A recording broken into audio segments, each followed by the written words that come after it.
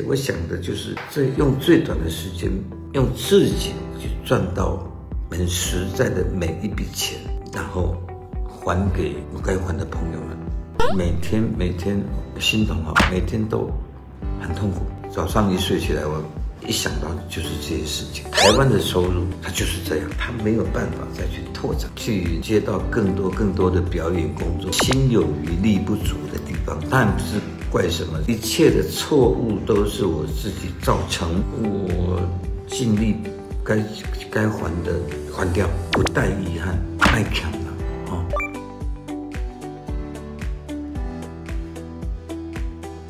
我知道很多债权人的生气跟无奈。可是没有照预定时间答应的跳票，这都是我的错。谢谢这么多债权人的包涵。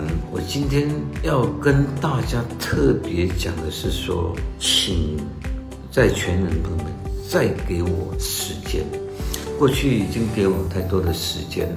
我也努力，年轻人跟着我努力，大家都尽了很大很大的力量。恰恰好泡菜啊等等，他们非常努力的想要借由他们的一起帮忙，能够。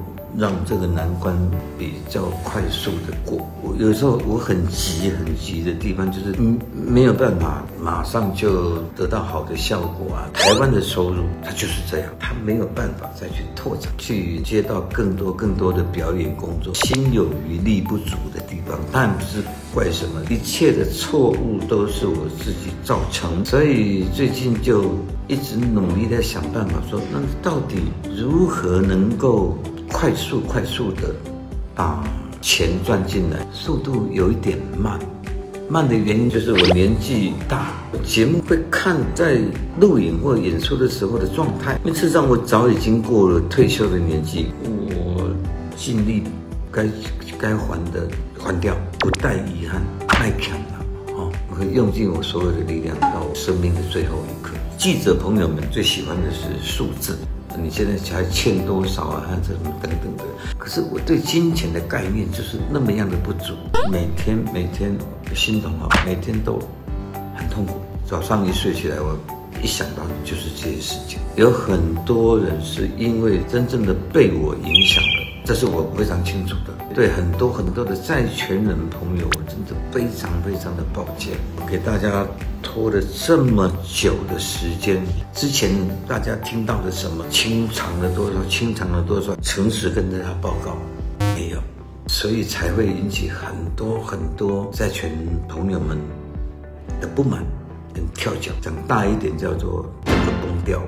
我大概可以再活个。